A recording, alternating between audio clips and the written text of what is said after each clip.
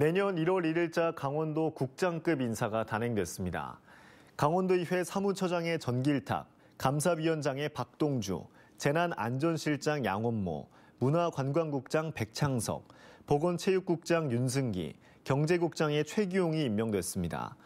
건설교통국장의 박기동, 산림환경국장의 김창규, 정책기획관의 곽일규, 원주 부시장의 김태훈이 발령됐습니다.